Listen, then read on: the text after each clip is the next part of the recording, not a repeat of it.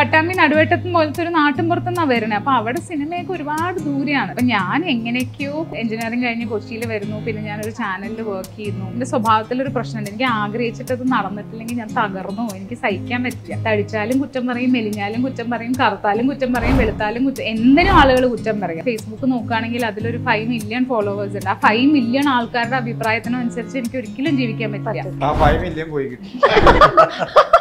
Hello കൊറേ ആർട്ടിസ്റ്റുകൾ ഉണ്ട് എല്ലാവർക്കും അവരവരുടെ സ്പേസ് എന്നും അത് കറക്റ്റ് അവർ ഈ വിമർശിക്കുന്ന ആൾക്കാർ അവരുടെ പണി അവരെടുത്തോട്ടെ ഇവനപ്പുറത്തോണ്ടിരുന്നേ ഹായ് ഡാർലിംഗ് എവിടെയെന്നാണ് ചോദിക്കാറ്? ഒരു ദിവസം എടുത്ത് പറഞ്ഞു എന്നെ ഡാർലിംഗ് എന്ന് വിളിക്കുന്നത് എനിക്ക് ഇഷ്ടമല്ല.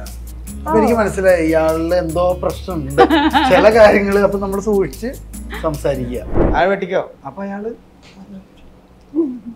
അത് നന്നായിട്ടുള്ള ഇതുപോലെ ചെയ്താൽ മതിട്ടാ. ആക്ഷൻ എന്ന് പറയുമ്പോ അയാൾ കുറച്ചുകൂടി ആര്? അത് അതാ ഞാൻ ചോദിക്കാൻ വന്നത്. എന്ത് സാർ അങ്ങനെ ഒരു പേര്? ആരോ? ആരോ? ആരോ? എന്തോ? ആ. അത് ഇതിന് ഉണ്ടല്ലോ എന്താന്ന് ആരോന്നും? അതിപ്പോ ചോദിച്ചില്ല? എന്താണ് ചോദിക്കാൻ ആരോന്നും ചോദിച്ചില്ല? അത് നമുക്ക് ആവശ്യം തന്നെയാണ്. അങ്ങനെ ചോദിക്കണം. ആ പേര് കേൾക്കുമ്പോ സ്ട്രൈക്ക് ചെയ്തിട്ട് അത് എന്തുകൊണ്ടാണ് അങ്ങനെ ഒരു പേര് എന്ന് ചോദിക്കണം. ഈ കൂട്ടത്തിൽ ആരുണ്ട്? അതെ. ഒരു കുഴപ്പക്കാരൻ. സിനിമക്കകത്തോ സിനിമക്കകത്തോ ഇവിടെ? സിനിമക്കകത്തുണ്ട് ഇതിന്റെ അകത്ത് പുള്ളിയാണ് കുഴപ്പക്കാരൻ. അതാണ് മൊത്തം കിളി പോയിട്ടുണ്ട്. ഞാൻ എന്താ ചോദിക്കണ്ടേ? ആ, അല്ല ഞാൻ ജസ്റ്റ് നമുക്ക് ആ പേര് കാണുമ്പോൾ സ്ട്രൈക്ക് ചെയ്യില്ല എന്തുകൊണ്ടാണ് അങ്ങനെ ഒരു പേര്? അതുകൊണ്ട് ഞാൻ ജസ്റ്റ് ചോദിച്ചതേ ഉള്ളൂ. അതിന്റെ ആൻസർ എന്താന്ന് എനിക്ക് കാര്യമായിട്ടൊന്നും മനസ്സിലായില്ല. കുഴപ്പമില്ല അല്ല അത് പടം കണ്ടേ ആ അതിന്റെ ആൻസർ കിട്ടും. ആരാണ്? നിങ്ങൾ ചോദിക്കണ ഒരു ചോദ്യമാണ് ആരോ? ആൻസർ കിട്ടും. സിനിമയ്ക്കകത്താണ് ആരോ എന്നുള്ളത് ആരാ എന്നുള്ളത് റിവീൽ ആവുന്നത് അല്ലേ? സാറിന്റെ എന്റെ കഥയാണ്. സ്റ്റോറി സാർ തന്നെയാണ് ചെയ്തേക്കുന്നത്. ഓക്കെ ഇങ്ങനെ ഒരു സ്റ്റോറി എഴുതാനുള്ള റീസൺ എന്തായിരുന്നു? ഇങ്ങനൊരു സബ്ജക്ട് എഴുതാറ് അത് അതൊരു നടന്ന സംഭവം തൃശ്ശൂരിൽ ഉണ്ടായ ഒരു സംഭവം. അപ്പൊ നമ്മൾ തൃശ്ശൂർക്കാരൻ അപ്പൊ അതിനുള്ളൊരു ഉണ്ടായിട്ടൊരു സാധനം. ഓക്കെ. നവാസ്ക തൃശ്ശൂർക്കാരനാണ് ഞാൻ തൃശ്ശൂർ വടക്കാഞ്ചേരി. വടക്കാഞ്ചേരി. അപ്പൊ ഞാനും വേണമെന്ന് പറഞ്ഞു. ഞാൻ അത് ചോദിക്കാൻ വേണ്ടി ചെയ്തു. എന്റെ ഏറ്റവും വലിയ സന്തോഷം കരീംകാട ഫസ്റ്റ് പടത്തിൽ ഞാനുണ്ട്. ഏഴര കൂട്ടം വയസ്സ് മനസ്സിലാവും. ഓ മനസ്സിലായി. നയന്റി ഫൈവിൽ അല്ല, അല്ല, നോക്കി അല്ല. അല്ല രണ്ടായിരത്തി നാലിൽ നാലിൽ നാലിൽ. അല്ല അല്ല അല്ല അല്ല. എന്റെ പ്രായം. ചൈതന്യ ചൈതന്യല്ലേ ഫസ്റ്റ് മൂവി അല്ലല്ല ചൈതന്യം എന്നുള്ള പറഞ്ഞ ഒരു പാട്ട് പാടിയതാ. ഓക്കെ മൂവിയിൽ വരുന്ന ഫസ്റ്റ് ആ, അല്ലല്ല അതിന് മുമ്പ് ചെയ്തിട്ടുണ്ട്. ഓ ഓക്കെ ഓക്കെ ആ അപ്പൊ അതിനകത്താണ് അതൊരു വലിയ ഭാഗ്യ. അപ്പൊ കരീംകാട് വീണ്ടും അത് അത് വേറൊരു ബന്ധം ഒരു കുടുംബ ബന്ധത്തിലുള്ള സംഭവമാണ്. ആ ഒരു ഭയങ്കര ബന്ധമായിരുന്നു ഇപ്പൊ അദ്ദേഹത്തിന്റെ ഏറ്റവും അടുത്ത സുഹൃത്താണ് പിന്നെ ഇതിന്റെ ഫാദർ നവാസിന്റെ ഫാദർ ഓക്കെ. അപ്പൊ എനിക്ക് പ്രത്യേകിച്ച് കഴിവൊന്നുമില്ല. അങ്ങനെ ബന്ധത്തിന്റെ പുറത്ത്. അതൊരു വലിയ അനുഗ്രഹമാണ്. ഓക്കെ എനിക്ക് ഇതിന്റെ ടീച്ചർ ടീച്ചർ കണ്ടപ്പോഴത്തേക്കും നമുക്ക് തോന്നുന്നത് ഒരു ശക്തമായ സ്ത്രീ കഥാപാത്രമാണ്. ഇപ്പോൾ ജോജിച്ചേട്ടന്റെ ഒരു സ്റ്റാർ ജോജി ചേട്ടൻ കഴിഞ്ഞു കഴിഞ്ഞാൽ വരുന്നത് കഥ അല്ലെങ്കിൽ അത്ര ശക്തമായ ഒരു സ്ത്രീ കഥാപാത്രത്തിലേക്കാണ് ഈ- ഇത് പോകുന്നതെന്നാണ് തോന്നിയത്. അങ്ങനെ ഒരു കഥാപാത്രം തന്നെയാണോ? അതെ വളരെ ശക്തമായിട്ടുള്ള ഒരു സ്ത്രീ കഥാപാത്രമാണ്. താമര എന്ന് പറഞ്ഞിട്ട് വടക്കുന്നാഥന്റെ മുന്നിൽ പൂക്കച്ചവടം ചെയ്യുന്ന ഒരു സ്ത്രീയാണ് എന്റെ ക്യാരക്ടർ ആ സിനിമയിൽ ത്രൂ ഔട്ട് ട്രാവൽ ചെയ്യുന്നുണ്ട്. സിനിമയിലെ എല്ലാ പ്രശ്നങ്ങളിലും ഞാനുണ്ട്. അങ്ങനെ ഒരു ഒരു എന്താ പറയാ ഒഴിവാക്കാൻ പറ്റാത്തൊരു ക്യാരക്ടർ തന്നെയാണ്. ഇപ്പൊ പറഞ്ഞ പോലെ പ്രശ്നങ്ങൾ ഉണ്ടാക്കുന്ന ആ ഒരാൾ. ഹലോ എന്നെ കണ്ട അങ്ങനെ തോന്നുമോ കണ്ടാൽ അങ്ങനെ തോന്നുമെങ്കിലും പ്രശ്നം ഉണ്ടാക്കുന്ന ആളാണ് ഓക്കെ. ആദ്യ ടൈറ്റിൽ എന്നായിരുന്നു ടൈറ്റിൽ സിനിമയുടെ പേര്? Oh okay okay. പിന്നെ ഇത് മാറ്റാനുണ്ടായ ഒരു റീസൺ ഉണ്ട് ഇതുപോലെ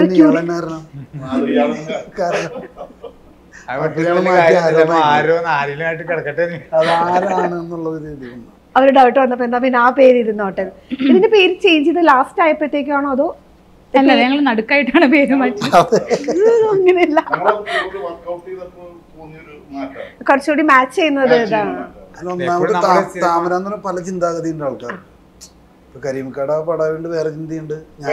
ഞാൻ അഭിനയിക്കണോണ്ട് വേറെ ചിന്തയുണ്ട്. അതെന്താ? വേറെ ചിന്ത. വെള്ളം പല പരിപാടികളും ഉണ്ടാവുമല്ലോ. ചെയ്തിട്ടുണ്ടെന്ന് വേറെ. അപ്പൊ ആൾക്കാർ വിചാരിക്കും ഇനി വെള്ളം കുടിക്കാരുടെ പടമാണോ താമര വിചാരിക്കും. വെള്ളമടിക്കാരുടെ അല്ലെങ്കിൽ പെൺ ഒരു സ്ത്രീ കഥാപാത്രം വേണ്ടി ഇനി അതാണോ താമര എന്ന് വിചാരിക്കും. അപ്പൊ ആളെ ഞങ്ങൾ എടുത്തു മാറ്റി. ഓ ആളുകൾ തെറ്റിദ്ധരിക്കപ്പെടണ്ട എന്നുള്ളത് കൊണ്ട്. ഇപ്പൊ ഒരു സംശയമില്ല ആരൊന്നും. ഞാൻ പടം കാണുമ്പോ അറിയാം താമര ഉണ്ടോന്നുള്ളത് അതെന്തായാലും ഉണ്ടാവും അല്ലേ? ശക്തമായ കഥാപാത്രമാണല്ലോ. ശക്തമല്ല മെയിൻ ആണ്. ഓക്കെ. പിന്നിപ്പോ ഒന്നാമത് കിട്ടുന്നില്ല ആളെ. തമിഴിലൊക്കെ തിരക്കാതിന്റെ പേരിൽ വല്ലപ്പോഴും ഡേറ്റ് ക്ലാഷ് കാരണം കിട്ടുന്നില്ല. ഒരു സത്യം പറയണേ എനിക്കൊന്നും മനസ്സിലാവുന്നില്ല. ഞാൻ പറയുന്നതാണോ? ഇവർ പറയുന്നതാണോ? മൊത്തത്തിൽ എനിക്ക് എന്തൊക്കെയോ എവിടുന്നൊക്കെയാ എനിക്കിങ്ങനെ റിലേ കട്ടായി പ്രിപ്പയർഡ് ആയി വന്നുള്ള കുഴപ്പം അതാണ്. നമ്മളൊന്നും പ്രിപ്പയർഡ് ആവരുത്. അങ്ങോട്ട് പറയാം. നീ തീരുമാനിച്ചാണ് വന്നതല്ലേ? ഇവനപ്പുറത്തോണ്ടിരിക്കേ ചോർ ഈ ചോദ്യം ആദ്യം പ്ലാൻ ചെയ്ത് വരുമല്ലോ ഇന്നൊക്കെ പറയാം. അതെ. പത്തെണ്ണം ഇപ്പൊ കട്ടായിട്ടുണ്ട്. ചോദ്യം കട്ടായിട്ടില്ല ചോദ്യം നോക്കിയാൽ മതി. സേവ് ചെയ്തിട്ടുണ്ട് സേവ് ചെയ്ത് വെച്ചിട്ടുണ്ട് അതെ അതെ. കിച്ചു ചേട്ടന്റെ കഥാപാത്രത്തെ കുറിച്ച് പറഞ്ഞോളൂ. എങ്ങനെയാ വരുന്നത്? ഞാൻ ഇതിന്റെ അകത്ത് മെയിൻ ആയിട്ട് എന്താ ഞാൻ തൃശ്ശൂർ ബേസ് ചെയ്ത ഒരാളല്ല. ഒരു ആവശ്യത്തിന് വേണ്ടി ഞാൻ ആ നാട്ടിലേക്ക് വരുന്നതാണ്. അപ്പൊ എന്നെ സഹായിക്കുന്ന ക്യാരക്ടറുകളിൽ പെടുന്നതാണ് അനുമോളുടെ ക്യാരക്ടറും നവാസ്ക ഇവരൊക്കെ ആയിട്ട് ബന്ധപ്പെട്ട് പോകുന്നൊരു കഥാപാത്രമാണ്. എന്താ പറയുക വേറെ നാട്ടിൽ നിന്ന് തൃശ്ശൂർക്ക് വരുന്ന ഒരാളാണ്. തൃശ്ശൂർക്കാരനല്ല ഞാൻ. അത്ര മതി. അത്ര മതി. ബാക്കി ഫുൾ കഥ മറ്റേത് ആരോ ആരാന്ന് അറിഞ്ഞിട്ട് ഇപ്പൊ തന്നെ അവസാനിപ്പിക്കണം. തിയേറ്ററിലേക്ക് ഞാൻ സംശയമായിക്കോട്ടെ സംശയം ആയിക്കോട്ടെ അത് അത് പറയാൻ സമ്മതിച്ചില്ല. ആ, കാര്യമായിട്ട് ഇങ്ങനെ ആൻസർ പറഞ്ഞു വരുമായിരുന്നു അത് പറഞ്ഞല്ല മൊത്തം പ്രശ്നം? ഈ- ആരോ എന്നൊരു സിനിമയ്ക്ക് വേണ്ട മെയിൻ ഒരു കഥാപാത്രമാണ്. കഥാപാത്രമാണ്. ഓക്കെ ഇതിന്റെ ട്രെയിലർ കാണുമ്പോഴത്തേക്ക് അതുപോലെ കൈ നോക്കുന്ന ഒരു അല്ല കൈ നോക്കാൻ പൈസ വേണം എന്ന് പറയുന്നുണ്ട് കൈ നോക്കിയിട്ടുണ്ടോ? അതിന് മുമ്പ് എപ്പോഴെങ്കിലും ഇല്ല. ഞാനോ? എന്റെ കൈയോ? ആ. ഞാൻ നോക്കിച്ചിട്ടുണ്ട്. ഇഷ്ടാണോ അവർ കേൾക്കാനൊക്കെ ഇഷ്ടമാണ് എന്താ വെച്ചാൽ അവർ ആദ്യം കുറെ പുകഴ്ത്തി പറയുമല്ലോ പിന്നെ എന്തെങ്കിലും മോശമാണെങ്കിലും അവരത് അങ്ങനെ ഭയങ്കര ഇങ്ങനെ ഷുഗർ കോട്ട് ചെയ്തല്ലേ പറയുള്ളൂ. അപ്പൊ അത് കേൾക്കാൻ എനിക്ക് ഇഷ്ടമാണ് പക്ഷെ എനിക്ക് എന്തുകൊണ്ടാന്ന് അറിഞ്ഞൂടാ? എപ്പൊ ഞാൻ കൈ നോക്കിയാലും എനിക്ക് അമ്മടെ തന്നെ ചീത്തക്കും അതെന്താ? അങ്ങനെ നോക്കിച്ചൂടെ? എന്തിനാ നോക്കിക്കണെന്നൊക്കെ അമ്മ വഴക്ക് പറയും. പിന്നെന്താ? അല്ല അമ്മയുടെ ഞാൻ പറയുമ്പോഴേ. അറിയില്ല എന്ത് എപ്പോഴും അമ്മ എന്നെ വഴക്കും അറിയാം മേ ബി ഒരുപാട് ആളുകളുടെ ഇടയിലൊക്കെ ഇരുന്ന് നോക്കണോണ്ടായിരിക്കും. എന്തിനറിയില്ല പക്ഷെ ഞാൻ നോക്കിക്കാറുണ്ട്. എനിക്ക് ഇഷ്ടം അത് അല്ല കേൾക്കാൻ. അങ്ങനെ എന്തിനും നടന്നിട്ടുണ്ടോ? അതാണ് ഇത് ചോദിക്കാൻ വരുമായിരുന്നു അങ്ങനെ പ്രെഡിക്റ്റ് ചെയ്ത എന്തെങ്കിലും കാര്യങ്ങൾ നടന്നിട്ടുണ്ടോ? അങ്ങനെ ഒരു പ്രഡിക്ഷൻസ് ഒന്നും ചെയ്തിട്ടില്ല. ഇങ്ങനെയല്ലേ? അങ്ങനെയല്ലേ? നിങ്ങൾ കലയായിട്ട് ബന്ധപ്പെട്ടല്ലേ ജോലി എടുക്കുന്നത്? അങ്ങനെയൊക്കെ ചോദിക്കുന്നേ ഉള്ളൂ.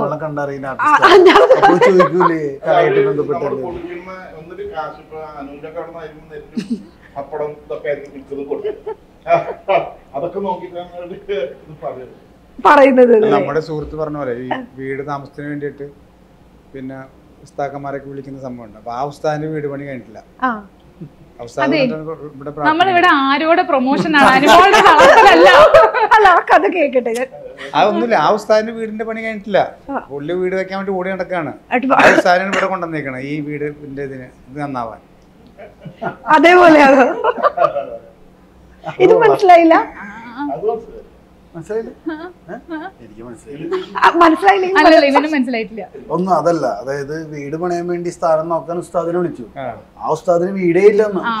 ആ ഉസ്താദിന് വീട് പണി കഴിഞ്ഞിട്ടില്ല. എന്താ പറ്റി? രാവിലെ വന്നപ്പോഴത്തേക്ക്. അല്ലല്ല ഇപ്പൊ മനസ്സിലായി. ഇപ്പൊ ഏകദേശം കാര്യങ്ങൾ എന്താ അല്ല അല്ല ആരോയിൽ ഒരു പ്രശ്നം ഉണ്ടെന്ന് പറഞ്ഞപ്പോ ഇവിടെയാണ് ആ പ്രശ്നം എന്ന് എനിക്ക് മനസ്സിലായി ഞാൻ സിനിമയ്ക്കകത്താണ് ഓർത്ത് ഓക്കെ സാർ ഒരു ഒരു ഗ്യാപ്പിന് ശേഷമല്ലേ ഈ മൂവി ചെയ്യുന്നത്? ഒരു ടെൻ ഇയർ ടെൻ ഇയർ അടുപ്പിച്ച് ഗ്യാപ്പ് ഉണ്ടെന്ന് തോന്നുന്നു. എന്തുകൊണ്ടാണ് ഇത്രയും ലേറ്റ് ആയത് ഉണ്ടാക്കിയതല്ല? ഞാൻ ഉണ്ടാക്കിയല്ല ഞാൻ ഈ സിനിമയിൽ പത്ത് വർഷത്തിന് ഗ്യാപ്പ് എടുത്തിട്ടില്ല. ഒരു സിനിമ വരുന്നു നമ്മൾ ചെയ്യും എക്കണോമിക്കലി ബന്ധപ്പെട്ട ഒരു സാധനം സിനിമ എന്ന് പറയും. സിനിമയിൽ അതിനാണ് ഇത്രയും നീണ്ട ഇടയ അങ്ങനെയല്ല നമുക്ക് ഇഷ്ടപ്പെട്ട പ്രൊഡ്യൂസേഴ്സ് ഇഷ്ടപ്പെട്ട സബ്ജക്റ്റിലേക്ക് പോകാന്നൊക്കെ താമസം താമസിക്കും നമ്മളങ്ങനൊരു അങ്ങനെ ആയി പോയതാണ് കുട്ടീന്ന് സംഭവിച്ചു പോയതാണ്. Purposefully ആയതല്ല okay. നവാസ്കയുടെ അടുത്തേക്ക് ഈ ഒരു കഥയായിട്ട് അപ്രോച്ച് ചെയ്യുമ്പോൾ ഉള്ള ഒരു തോട്ട് എങ്ങനെയായിരുന്നു? ഞാൻ നമ്മൾ സ്ഥിരം ഒരു ഹ്യൂമൻ ട്രാക്കാണ് നിലവിൽ കുറേ നാളൊക്കെ ചെയ്തുകൊണ്ടിരുന്നത്. അപ്പോൾ അതുപോലെ തന്നെ പോകുന്ന സിറ്റുവേഷനിൽ തമാശ ഉള്ള ഒരു ക്യാരക്ടറാണ് കുഞ്ഞാക്ക എന്നൊരു കഥാപാത്രമാണ് മമ്മൂട്ടി ഫാൻ മമ്മൂക്കയുടെ കടുത്ത ഉം. പുള്ളി കാണാൻ സംസാരിക്കുന്നൊക്കെ മുഴുവൻ ചിലപ്പോൾ പുള്ളിയുടെ ആ കഥാപാത്രങ്ങളൊക്കെ ആയിട്ട് കണക്ട് ചെയ്ത് വരുന്ന സംഭവത്തിൽ പുള്ളിയുടെ അനുഭവങ്ങളൊക്കെ അങ്ങനെ ഷെയർ ചെയ്ത് പോകുന്ന ഒരാളാണ്. അതാണ് ഇതിന്റെ ഒരു ഈ ക്യാരക്ടറിന്റെ ഒരു ബാക്ക്ഗ്രൗണ്ട് എന്ന് പറയുന്നത്. പിന്നെ ഇതിനകത്തോട് മറ്റു ക്യാരക്ടറായിട്ട് കണക്ട് ചെയ്ത് വരുന്ന ഇത് നമുക്കൊരു ഇതിന്റെ റൂട്ട് എങ്ങനെയെന്നൊരു കറക്റ്റ് പറയാൻ പറ്റില്ല. ഓക്കെ കാരണം വെച്ചാൽ പല സിറ്റുവേഷനിലും ഈ കഥാപാത്രം ഒന്നും അറിയാത്ത അവസ്ഥയിലേക്ക് പോകുന്നുണ്ട്. അപ്പോൾ ശരി എനിക്ക് അതിനകത്തുള്ള പല സംഭവങ്ങളും അറിയാൻ പറ്റില്ല ഈ ഈ കഥാപാത്രത്തിന് അതായത് ഈ ക്യാരക്ടറിന് അതിൽ നട നടക്കുന്ന പല സിറ്റുവേഷനിലും കണക്ട് ചെയ്യാൻ പറ്റാത്ത കുറെ സംഭവങ്ങളുണ്ട്. വരുന്നുണ്ട്. വരുന്നുണ്ട്. ഉം. ആ, അങ്ങനെയൊക്കെ പോകുന്ന റൂട്ടാണ്. അപ്പൊ മനസ്സിലായി. ആരോ എന്നുള്ളതിന്റെ മനസ്സിലായി പാടില്ലാത്ത. ആ. ഓക്കെ. എല്ലാവർക്കും പണിയുണ്ട് ഇതിനകത്ത്. പണിയുണ്ട്. ഇവിടെ എനിക്കും പകുതി കാര്യങ്ങൾ നിങ്ങൾക്കും. പണിയുണ്ട്. എനിക്കെന്താ ചോദിക്കുന്നത് പണിയല്ലേ? ഏറെക്കുറെ. ഞാൻ പറഞ്ഞ വെച്ചാൽ നമ്മളിപ്പൊക്കെ കുറെ സീരിയസ് സംഭവങ്ങൾ ചെയ്യുന്നത് അപ്പൊ ഇതൊരു മുഴുനീള എന്റെ ഒരു സിറ്റുവേഷൻ എന്ന് പറഞ്ഞ തമാശയായിട്ട് കണക്ട് ചെയ്ത് വരുന്നത്. പുള്ളി ഭയങ്കര സീരിയസ് ആണ് കേട്ടോ. ആ ഓക്കെ. ക്യാരക്ടർ ഭയങ്കര serious. ഒരു ഒരു കാലിക്കറ്റ് കോഴിക്കോട് ഒരു സ്ലാങ് തൃശ്ശൂരാണെങ്കിലും തൃശ്ശൂർ അല്ല. ഈ ക്യാരക്ടർ ഇങ്ങോട്ട് വന്ന തൃശ്ശൂർ ക്യാരക്ടറാണ് ഓക്കെ. തൃശ്ശൂർ സ്ലാങ് പിടിച്ചിട്ടാണോ സിനിമ പോകുന്നത്? അല്ല. അല്ല ഞാൻ ആ. കണ്ടപ്പോൾ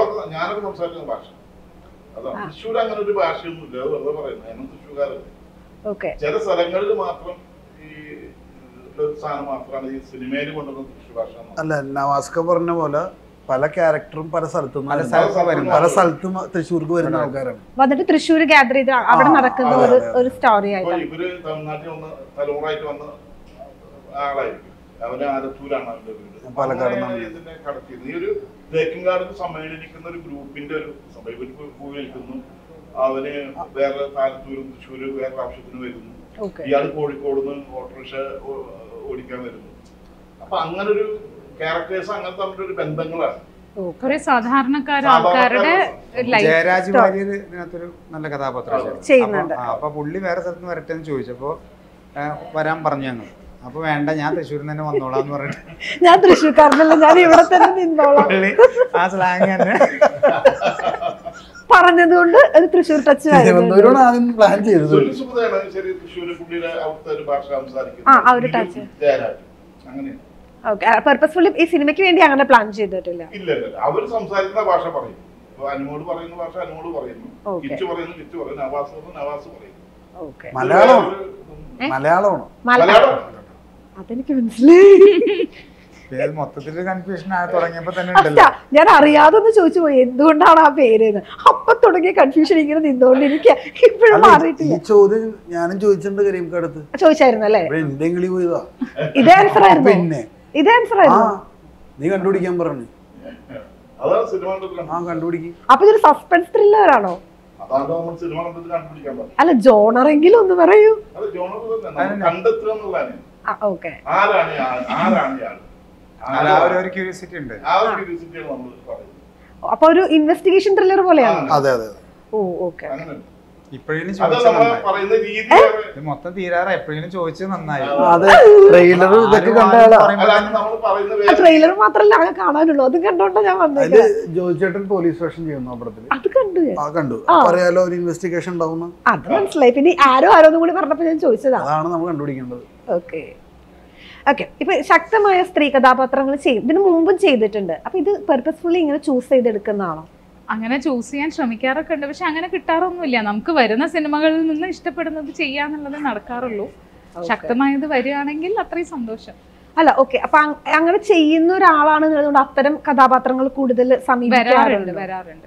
ഓക്കെ അപ്പൊ അങ്ങനെ ഓക്കെ ഇത് നമ്മൾ ടൈപ്പ് കാസ്റ്റ് ചെയ്യപ്പെടുന്നു അല്ലെങ്കിൽ ഇത് തന്നെ റിപ്പീറ്റ് ചെയ്ത് ചെയ്യ ചെയ്യുന്നു എന്നുള്ളൊരു തോട്ട് വരുന്നുണ്ട്? അങ്ങനെ ഞാൻ ആലോചിക്കാറുണ്ട് ഒരേപോലത്തെ വരുന്നു ടൈപ്പ് കാസ്റ്റ് ആവുന്നു എന്നൊക്കെ വിചാരിക്കാറുണ്ട്. പക്ഷെ അത് എന്റെ മിസ്റ്റേക്ക് അല്ല എന്നാണ് എന്റെ ഒരു ധാരണ. എപ്പോഴും ഒരു ആക്ടർ ടൈപ്പ് കാസ്റ്റ് ആവുന്നുണ്ടെങ്കിൽ അത് ചുറ്റുമുള്ള ഡയറക്ടേഴ്സ് നമ്മളെ വിളിക്കുന്നതാണല്ലോ. അപ്പം നമ്മളെ വിളിക്കുമ്പം ഒരേപോലത്തെ റോൾസിനെ വിളിക്കുന്നത് കൊണ്ടാണ് നമുക്കത് മാത്രം ചെയ്യാൻ പറ്റുന്നത്. ഇപ്പം നമ്മളൊരു പടം ചെയ്യണ്ടെന്ന് വിചാരിച്ചിരുന്നാലും മേ ബി ഒരു ഒരു കൊല്ലമൊക്കെ സർവൈവ് ചെയ്യാൻ പറ്റും. അത് കഴിഞ്ഞാൽ പിന്നെ എനിക്കും പെട്രോൾ അടിക്കണല്ലോ. അതെ.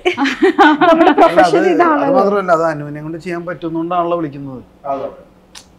ഉവ്വ് പക്ഷെ ഒരേപോലെ തന്നെ ആവുമ്പം എപ്പോഴും ചില സമയത്ത് അങ്ങനെ ഒരു ഫീലിംഗ് വരാറുണ്ട്. പിന്നെ ഞാൻ വിചാരിക്കുന്നത് അത് എന്നെ വിളിക്കുന്ന ആൾക്കാർ ഇൻഡസ്ട്രിയോ അല്ലെങ്കിൽ ഡയറക്ടേഴ്സ് ആണോ ആക്ടേഴ്സിനെ എപ്പോഴും ടൈപ്പ് കാസ്റ്റ് ആക്കുന്നത് ഇപ്പം ഞാനിങ്ങനെ ഒരേ ടൈപ്പ് മുണ്ടും ബ്ലൗസും കോട്ടൺ സാരി മാത്രം ഉടുത്ത് ചെയ്തുകൊണ്ടിരിക്കുന്ന സമയത്താണ് വി കെ പി എന്നെ റോക്ക് സ്റ്റാറിൽ അഭിനയിക്കാൻ വിളിച്ചത്.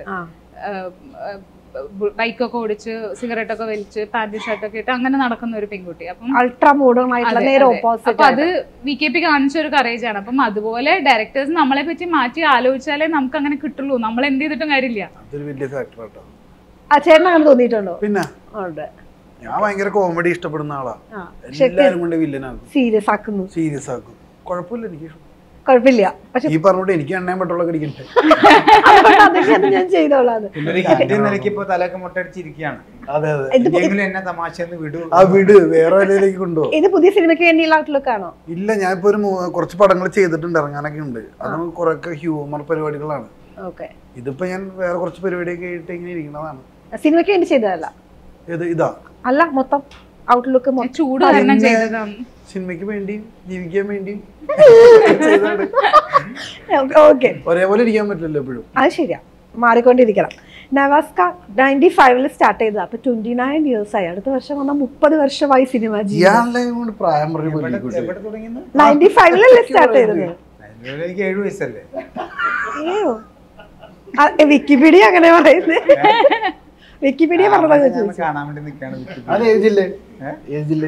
വിക്കിപീഡിയ ഏത് ജില്ലയാണോ? അല്ല അവനെ കാണാൻ നിൽക്കുന്നു പറഞ്ഞില്ലേ? വിക്കിപീഡിയ ഇങ്ങനെ ഞെക്കിപീഡിയ ആയിട്ട് നടക്കുകയാണ് നമ്മളെ.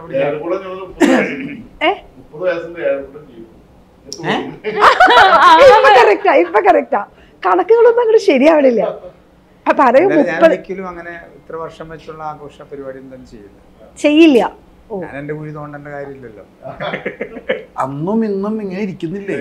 അതൊരു വലിയ കാര്യമാണ്. അത് അത് കറക്റ്റാ നമ്മളെപ്പോഴും അതാണ് നോക്കേണ്ടത്.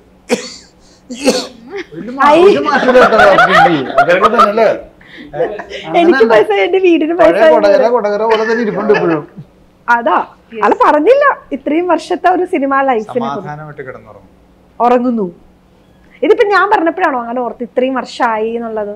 ഞാൻ ഇടയ്ക്ക് ഓർക്കാണ് പക്ഷെ ഞാൻ തന്നെ മറന്നു കളയോ Delete, delete, ആണോ? ഒരുമിച്ച് വലുതായപ്പോ വലുതായിട്ട് കാണും. കൊറേ വർഷമായിട്ട് നഴ്സറിയില്ല പിള്ളേരോ? അവിടെ നിന്ന് പ്രമോഷൻ ആയിട്ടില്ല.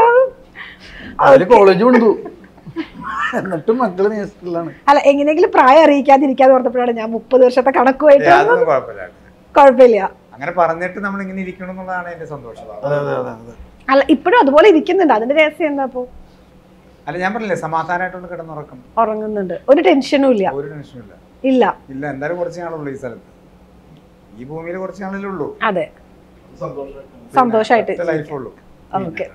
ഓക്കെ സാറിലേക്ക് വരികയാണെന്നുണ്ടെങ്കിൽ ഇപ്പൊ ഈ സ്ക്രിപ്റ്റ് റെഡിയാക്കുന്ന സമയത്ത് ഇവരെയൊക്കെ കണ്ടുകൊണ്ടാണോ ഒരു അല്ലെങ്കിൽ ഈ കഥാപാത്രം ഇവർ ചെയ്യണം? അങ്ങനെ ഉണ്ടായിരുന്നില്ല. ഓക്കെ. സ്റ്റോറി എഴുതി കഴിഞ്ഞിട്ട് അതിന് നോക്കുന്നത്. അല്ല ചില ഡയറക്ടേഴ്സ് പറഞ്ഞിട്ട് ഞാൻ ഇവരെ മുന്നിൽ കണ്ടുകൊണ്ട് ചെയ്ത സിനിമയാണ്. അങ്ങനെ പറയാം. ചെയ്തിട്ടില്ല.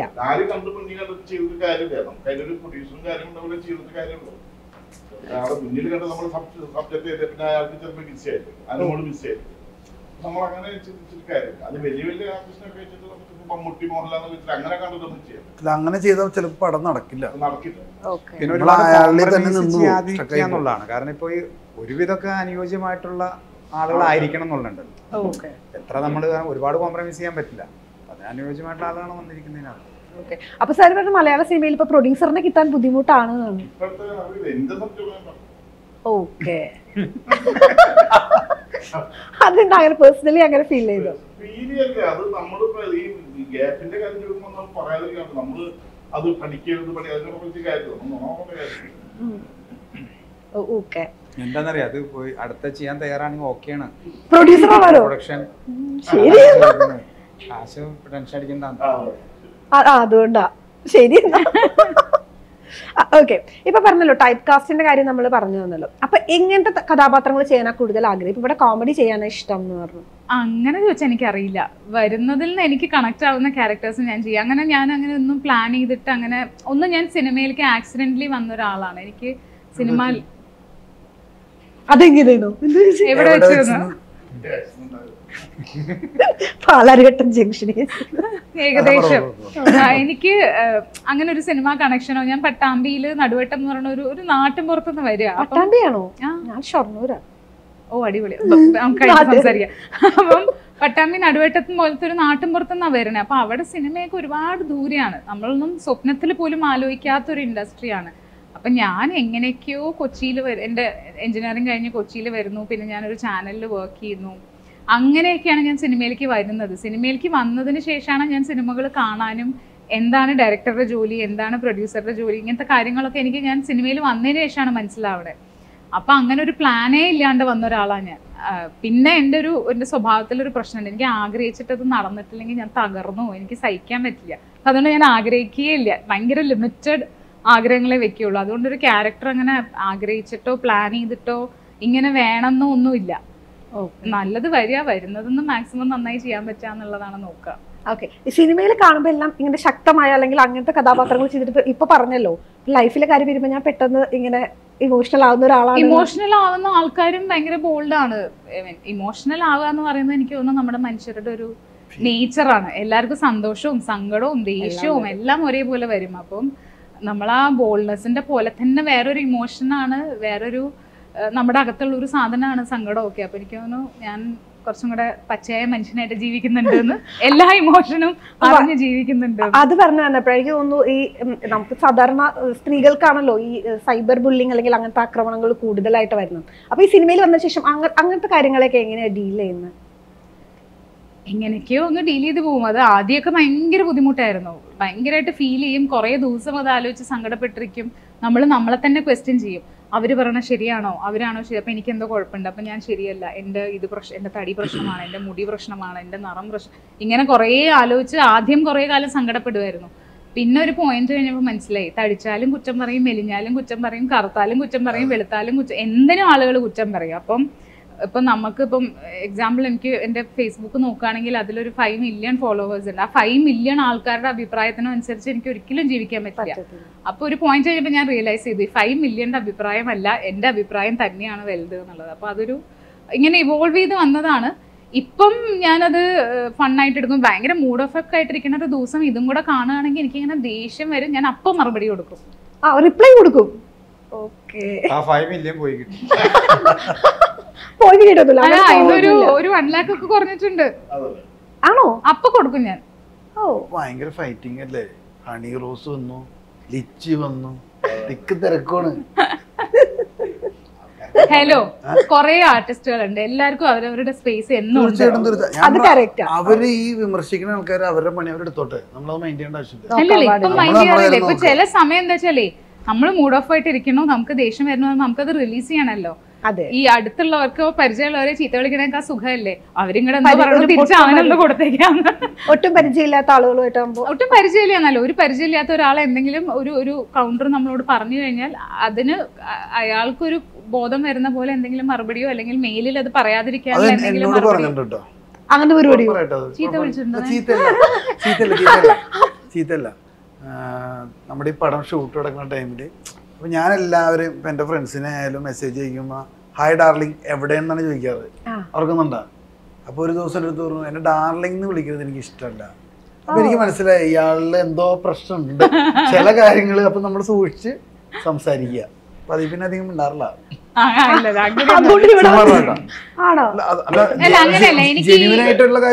നമ്മൾ ഭയങ്കര പുള്ളിക്കാരത്തിക്ക് അത് അല്ല നമ്മൾ ഇഷ്ടമല്ല. ക്ലോസ് ആണ്. നമ്മൾ ഇനീഷ്യൽ ആണ്. നമ്മൾ പരിചയപ്പെട്ട് വരുന്നത് ഇപ്പൊ എന്നെ ഡാർലിംഗ് എന്ന് വിളിച്ചാൽ എനിക്ക് പ്രശ്നം വരില്ല. എന്ന് വെച്ചാൽ ഞങ്ങൾ അടുത്ത് പരിചയമുണ്ട്. നമ്മൾ കുറെ നമ്മൾ കൊറേ നമ്മൾ കുറെ കാലമായിട്ട് ട്രാവൽ ചെയ്യാണ്. ബട്ട് സ്റ്റിൽ എനിക്ക് അത്ര ഇഷ്ടമല്ലേ അത് വിളിക്കണം ചില വാക്കുകളില്ലേ? അത് വിളിക്കുമ്പോ അത് മീൻ ചെയ്യണം.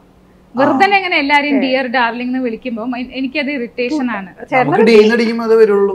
ഫസ്റ്റ് ഡിഫോൾട്ടാ അല്ല ഡാർലിംഗ് വരുള്ളൂ. സ്നേഹം കൊണ്ട് വിളിക്കുന്നതാണ്. അതാ. അല്ല അപ്പൊ പുള്ളിക്കാരത്തി പറഞ്ഞ എനിക്ക് ഇഷ്ടപ്പെട്ടു. ഓപ്പൺ ആയിട്ട് പറഞ്ഞല്ലോ അത് പറയാത്ത എത്രയോ പേരുണ്ട്. മനസ്സിൽ വെച്ചിട്ട് ഇങ്ങനെ ഇരിക്കും. അത് ആലോചിച്ചിട്ടുണ്ട്. അല്ല അതിനങ്ങനെ ഭയങ്കര ഭയങ്കര ഇറിറ്റേറ്റ് ചെയ്യും. അല്ല, ഒരു ദിവസം ഭയങ്കരമായിട്ട് ഇത് അനുയാത്രയാണോ അനു ദാരിദ്ര്യമാണ്. അനുവദം. അനുമതം അനുവാദം. അല്ല ഞാൻ ഒരു പോയിന്റ് വരെ കൺട്രോൾ ചെയ്യുന്ന ആളാണ്. അത് കഴിഞ്ഞാൽ ഞാൻ റിയാക്ട് ചെയ്യുകയും ചെയ്യും ബ്ലാസ്റ്റ് ആവുകയും ചെയ്യും. അത് ഒരു ദിവസം സെറ്റ് ഞാൻ ബ്ലാസ്റ്റ് ആയ കഥയാണ് ഇപ്പൊ തുടങ്ങിയത്. ആ കഥ പറയുന്നുണ്ടോ? അല്ല ഇതൊക്കെ നിസ്സാര കാര്യങ്ങളാണ്. വലിയ ഇഷ്യൂ ഒന്നും ആർക്കും അങ്ങോട്ട് ഹേർട്ട് ചെയ്യണ കാര്യങ്ങളൊന്നും അല്ല ചെറിയ എന്തെങ്കിലും സംഭവം. ഈ പറഞ്ഞ ഡാർലിങ്ങോ ഡിയറോ? ഞാൻ ഇഷ്ടപ്പെട്ടില്ല. കംഫർട്ടബിൾ അല്ലെങ്കിൽ ഞാനത് പറയും. അപ്പൊ എന്താ വെച്ചാൽ അത് മ്യൂച്വലി നമുക്ക് സുഖമുള്ള ഒരു കാര്യമാണ്. പിന്നീട് അങ്ങോട്ട് എനിക്കും അൺകംഫർട്ടബിൾ ആവില്ല. പുള്ളിക്കും അത് മനസ്സിലാവും. അവരും അത് ഓക്കെയാണ് ബഹളം വെച്ചത് അന്ന് എന്താ വെച്ചാൽ എ ഡീസിനോടാന്ന് തോന്നുന്നു അല്ലേ? അത് അങ്ങനെ ഞാൻ അങ്ങനെ എനിക്ക് ആകെ അവിടെ ചെയ്തിട്ടുള്ളൂ. എനിക്ക് പണിയെടുക്കണം പണി നമ്മളെല്ലാരും വർക്ക് സ്പേസിൽ വന്നു കഴിഞ്ഞാൽ എല്ലാരും വർക്ക് ചെയ്യണം. കുറച്ച് പേര് മാത്രം ഇങ്ങനെ നമ്മളിങ്ങനെ ട്രിപ്പിന് വന്ന പോലെ ചുമ്മാ വന്ന് നിന്നാലോ? അതല്ലെങ്കിൽ പണിയെടുക്കുന്ന പോലെ അഭിനയിക്കുന്നതൊക്കെ കണ്ടാൽ ഞാൻ ഒരു മൂന്നാൽ ദിവസം ക്ഷമിക്കും. നാലാമത്തെ ദിവസം ആകുമ്പോൾ ഞാൻ ചോദ്യം ചോദിച്ചു തുടങ്ങും. ഒരു അഞ്ച് ആറൊക്കെ ദിവസം പറമ്പൊക്കെ ഉണ്ട്. പണിക്കാരുണ്ട് നാട്ടിൽ. പണിയെടുപ്പിക്കുന്ന അതാണ് പറഞ്ഞത്. അല്ല? ഒരു ഒരു സെറ്റിൽ നമ്മൾ എല്ലാവരും ആത്മാർത്ഥമായിട്ട് ഭയങ്കര സീരിയസ് ആയിട്ട് ക്രിട്ടിക്കൽ ആയിട്ട് പണിയെടുത്തോണ്ടിരിക്കുക അപ്പൊ നിന്ന് കുറെ പേര് ഇങ്ങനെ ചില്ലിന്ന് കാണുമ്പോൾ ഒരു ദേഷ്യം വരില്ല? പണി എടുക്കേണ്ട ആളുകൾ. അവരുടെ പണിയും കൂടെ നമ്മൾ എടുത്തുകൊണ്ട് സ്വാഭാവികമായിട്ടും. അങ്ങനെ ഒരു ദിവസം ബ്ലാസ്റ്റ് ആയി എന്നുള്ളൂ. അത് മേ ബി എനിക്കറിയില്ല. ഞാൻ ചെയ്യുന്ന പണിയോടുള്ള ഒരു ആത്മാർത്ഥത. കൂടുതൽ എനിക്ക് എല്ലായിടത്തും ആ പ്രശ്നം വരാറുണ്ട്. ഇല്ല, അതുകൊണ്ട് അഞ്ചു ദിവസം മുമ്പ് ഷൂട്ട് കഴിഞ്ഞു. ഭയങ്കര ഫാസ്റ്റ് ആയി എല്ലാരും. എല്ലാരും പേടിച്ച്. ആ പിന്നെ. അങ്ങനെ അങ്ങനെ അതുവരെ പെരുമാറുന്നത്. ഓക്കെ. എന്റെ ആ ഒരു മുഖം ഒരു ഒരു എക്സ്ട്രീം കഴിഞ്ഞാലേ കാണുള്ളൂ. അത് റിയൽ ഞാൻ- അല്ല പിന്നെ ഹോസ്പിറ്റലിൽ പോയൊക്കെ ഓക്കെ ഞാൻ ദേഷ്യപ്പെടും എന്ന് പറഞ്ഞാൽ അധികാരം ആരും വിശ്വസിക്കാറില്ല. ഒരു ഒരു ഒരു കാലം വരെ എനിക്ക് ഞാൻ ദേഷ്യപ്പെടും എന്നാണ് എല്ലാവരും വിചാരിക്കുന്നുണ്ടായിരുന്നത്. പക്ഷെ അത് ഞാനിങ്ങനെ മാക്സിമം ഇങ്ങനെ ഇപ്പൊ ഒന്ന് ശ്രദ്ധിച്ചിരുന്നു എല്ലാവരും എപ്പോഴാ ദേഷ്യം എടുത്തിരിക്കുന്നത് ഡാർലിംഗ് സൂക്ഷിക്കണം. ഇനി വിളിക്കാൻ സാധ്യതയില്ല. അപ്പൊ ഇനി ആരും വിളിക്കില്ലാന്ന് തീരുമാനിച്ചോ? ഇല്ല ഞാൻ എല്ലാരും ഡാർലിംഗ് വിളിക്കും. വിളിക്കുമോ അല്ല വേണ്ട. അല്ല ചോദിച്ചതാ അങ്ങനെയൊന്നുമില്ല. അത് ഓരോരുത്തർ ഇഷ്ടമല്ലേ. ആ ഓക്കെ. നവാസ്ക പറഞ്ഞല്ലോ മനസമാധാനമായിട്ട് കിടന്നുറങ്ങുന്നു. അപ്പോൾ ഒരു സിനിമ ഇപ്പൊ ആരും ഇറങ്ങാൻ പോവാണ്. അപ്പോൾ ആ സിനിമ എന്താവും? അതിന്റെ അതിന് സക്സസ് ആവും? അല്ലെങ്കിൽ എങ്ങനെയായിരിക്കും ബോക്സ് ഓഫീസിലേക്ക് പോകും ആ ഒരു ടെൻഷൻ പോലും ഉണ്ടാവാറില്ല. എങ്ങനെ വന്നാലും ഞാൻ കിടന്നുറങ്ങിയല്ലേ പറ്റുള്ളൂ. അതൊക്കെ. എന്നാലും ആ സർ ആക്ടർ അങ്ങനെ ഒരു ടെൻഷൻ വരില്ല. ടെൻഷനല്ല. നമുക്കൊരു വല്ലാത്തൊരു ആകാംക്ഷയാണ്. എനിക്ക് ടെൻഷൻ എന്നൊരു വാക്കിനേക്കാൾ പ്രൊഡ്യൂസർക്കാണ് നമുക്കത് അത് പ്രൊഡ്യൂസർക്കും അങ്ങനെ തന്നെ. പ്രൊഡ്യൂസർക്ക് ഈ സിനിമ മറ്റു പല പ്ലാറ്റ്ഫോമിൽ വന്നാലും സാറ്റിസ്ഫൈഡ് ആയിരിക്കില്ല.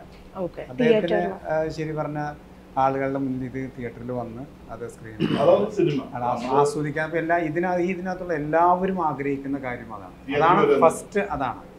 പിന്നെ ഈ പറഞ്ഞ പോലെ തന്നെ കരീംക്ക് പറഞ്ഞ പോലെ സിനിമയ്ക്ക് കാശ് വളരെ അത്യാവശ്യമുള്ള കാര്യമാണ്. ആ പ്രൊഡ്യൂസർ നിലനിൽക്കണമെങ്കിൽ റിട്ടേൺ വന്നേ പറ്റുള്ളൂ. ഒരു പ്രാർത്ഥനയാണ് നമ്മുടെ. കാരണം ഇപ്പോൾ എന്ന് പറഞ്ഞാൽ ഒന്നും നോക്കാതെ എല്ലാവരും അത്യാവശ്യം നല്ല പടങ്ങൾക്ക് ഭയങ്കരമായിട്ട് സപ്പോർട്ട് ചെയ്യുന്ന ഒരു സമയം കൂടിയാണ്. അത് പ്രതീക്ഷയാണ് നമ്മുടെ. ഇപ്പൊ ഇറങ്ങുന്ന പടങ്ങളൊക്കെ അത്യാവശ്യം നല്ല രീതിയിൽ വിജയിച്ചു പോകുന്നുണ്ട് അതെ. തിയേറ്റർ എക്സ്പീരിയൻസ് ചെയ്യാൻ വീണ്ടും ഒ ടി ടി കളഞ്ഞ് അവിടെ വന്ന് ഗ്യാദർ ചെയ്ത് കാണാനുള്ള ഒരു ഇഷ്ടം വീണ്ടും കൂടി കൂടി വരുന്നു എന്നുള്ളത് ഭയങ്കര വലിയൊരു കാര്യം തന്നെയാണ്. ഓക്കെ ആ ഓക്കെ ഞാനിപ്പോ സാറിനോട് ചോദിക്കാൻ വന്നത് ഇതുപോലെ ഈ ഗ്യാപ്പിന് ശേഷം വീണ്ടും തിയേറ്ററിലേക്ക് വരുമ്പോൾ സാറിന്റെ ഒരു ഫീലിങ്സ് എങ്ങനെയാ? നമ്മൾ സിനിമ അത് വിജയിക്കുന്നത് നമ്മുടെ ഏറ്റവും വലിയ ആഗ്രഹം. വിജയിക്കണം അതാണ്. എല്ലാവരും കാണണം കൂളായിട്ടാണ് അല്ലാണ്ട് ഓക്കെ വരാൻ പോവാണ്. അതിന്റെ നമ്മളിപ്പോ മാനസിക പ്രശ്നം കാര്യമില്ല കരീംക്ക് എന്നും കൂളാ ആണല്ലേ? എന്ത് സംഭവിച്ചാലും. ഞാൻ ഞാൻ ഈ പടം എന്റെ അടുത്തും സംസാരിച്ച് കമ്മിറ്റ് ചെയ്ത് അഭിനയിക്കാൻ ചെല്ലുകയാണ്. അപ്പം അന്ന് കുറച്ച് പടങ്ങളെ ഞാൻ അങ്കമാലിയൊക്കെ കഴിഞ്ഞ് കുറച്ച് പടങ്ങളെ ചെയ്തിട്ടുള്ളൂ. രണ്ടായിരത്തി പതിനെട്ടിലല്ലേ പതിനേഴിലാണ് ഏയ് പതിനെട്ടില്ലേ. വെള്ളപ്പൊക്കത്തിന് മുന്നേ നമ്മൾ ഷൂട്ട് ചെയ്തിട്ടുണ്ട് ഈ പടം. ആ ഒരു ഒരു ഒരു ഷെഡ്യൂൾ ഷൂട്ട് ചെയ്തിട്ടുണ്ട്. അപ്പം അന്ന് കുറച്ച് കുറച്ച് പടം ഇങ്ങോട്ട് ഒരു അഞ്ചാറ് പടം ചെയ്തിട്ടുള്ളൂ. അപ്പോൾ പുള്ളിയെക്കുറിച്ച് എനിക്ക് ബേസിക്കലി അറിയില്ല. അപ്പോൾ സിദ്ധാർത്ഥ ഭരതന്റെ ഒരു പടം ചെയ്തിട്ടുണ്ടായിരുന്നു ഞാൻ വർണത്തിൽ അശങ്ക എന്ന് പറഞ്ഞിട്ട്. അപ്പോൾ ആ പടം കണ്ടിട്ടൊക്കെയാണ് ഇവർ വിളിച്ചതെന്നാണ് എന്റെ അടുത്ത് പറഞ്ഞത്. പക്ഷെ സിദ്ധു സിദ്ധുവിന്റെ ഒക്കെ ഫാദറുടെ ക്ലോസ് ആണുള്ള പുള്ളി. സിദ്ധു കുറേ കഥയൊക്കെ പറഞ്ഞിട്ടുണ്ട് ആളെ കുറിച്ചിട്ട്. പിന്നെ ഇവർ സീനിയർ അല്ലേ? നമ്മളോട് പറഞ്ഞില്ലല്ലോ അതെ അതെ. പുള്ളി സീനിയർ അല്ലേ കുറച്ചും കൂടി? എന്റെ പ്രതീക്ഷ ഭയങ്കര ആ ഭയങ്കര ഹിന്ദു ചൂടനായിരിക്കും എന്ന് വിചാരിച്ച. ഇന്ത്യ ചൂടാവണ ആളാന്ന് വിചാരിച്ചു. അങ്ങനെ എല്ലാരും പറയേണ്ട ഒരു കാര്യം അതിപ്പോ അതിൽ ആ തമാശ സോറി പറഞ്ഞോട്ടെ. കരിമ്പിന്റെ ഇടയ്ക്ക് ആ, ഭരതേട്ടനോട് വർക്ക് ചെയ്യുന്ന സമയത്തൊക്കെ ഞങ്ങനെ വെങ്കലം ആ സമയത്ത് ഞാൻ ലൊക്കേഷനിലൊക്കെ പോയിട്ടുണ്ട്. അത് കഴിഞ്ഞ് വന്നിട്ട് ഞങ്ങളുടെ നാട്ടിൽ വടക്കാഞ്ചേരി തന്നെ. കഴിഞ്ഞ് ഒരു ഒരു ഷോർട്ട് മൂവി ചെയ്തു. ഒരു ഷോർട്ട് ഫിലിം ചെയ്തു.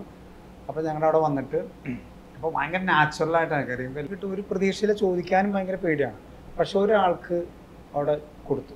ഒരു കാര്യം അപ്പം ഞങ്ങൾ ജീവിതത്തിൽ പ്രതീക്ഷിക്കാത്ത ആൾക്ക്. അവിടെ ഇതിൽ പോ കൂലിപ്പണിക്ക് പോകുന്ന ഒരാളാണ്. അങ്ങനെ അയാളുടെ അടുത്ത് അയാൾ വെട്ടിക്കോ? എന്ന് പറഞ്ഞു. ഒരു കുഴിങ്ങനെ വെട്ടുന്നു അപ്പം അയാൾ കുഴി വെട്ടി. അത് നന്നായിട്ടുള്ള നന്നായിട്ടുള്ള ഇതുപോലെ ചെയ്താൽ മതിട്ടാ. വേറെ ഒന്നും നോക്കണ്ട. ആ ക്യാമറ സാർ ആക്ഷൻ എന്ന് അയാൾ കുറച്ചുകൂടി കുറച്ചുകൂടി കൂടുതൽ കയ്യിൽ നടനായി അതുവരെ നാച്ചുറൽ ആയിട്ട് ചെയ്തോണ്ടിരുന്നതായിരുന്നു എന്ത് അഭിനയിക്കുന്ന അതാണ്. അഭിനയം ബിഹേവ് ചെയ്താണ്. അല്ലാണ്ട് ഇവിടെ തറ പിടിച്ചിറക്കി അഭിനയിക്കുന്നുണ്ട്. അഭിനയം ആ പുള്ളി അങ്ങനത്തെ ഒരു മൈൻഡിന്റെ ആളാട്ടോ. ഓക്കെ. ചില ആൾക്കാർ നേരെ വ്യത്യാസമുണ്ട്. അവർക്ക് അത് തന്നെ കിട്ടണം. ഡയറക്ടർ ഡയലോഗിൽ നിന്ന് ഒരു മാറ്റം പോലും സമ്മതിക്കില്ല. ഓക്കെ. ഡയറക്ടർ എന്ത് ഉദ്ദേശിക്കുന്നു? അതുപോലെ തന്നെ കിട്ടണം എന്ന് ആഗ്രഹിക്കുന്ന അങ്ങനത്തെ ആൾക്കാരുണ്ട്. അല്ലാണ്ട് നമുക്ക് സ്പേസ് നമുക്ക് സ്പേസ് തരുന്ന ആൾക്കാരുണ്ട്. നമുക്ക് പിന്നെ കൂടെ നിന്ന് വർക്ക് ചെയ്ത ഗുരുനാഥന്മാരൊക്കെ അങ്ങനെ ബിഹേവ് ചെയ്തു. സിസ്റ്റം വേറെയാണല്ലോ. ആ സ്ട്രക്ചർ വേറെ വേറെ ആയിരിക്കും. എന്തായാലും ആരോ തിയേറ്ററിലേക്ക് വരികയാണ്. എല്ലാവിധ ആശംസകളും സിനിമ ജനങ്ങൾ സ്വീകരിക്കട്ടെ. സക്സസ് ആകട്ടെ. Thank you thank you thank you so much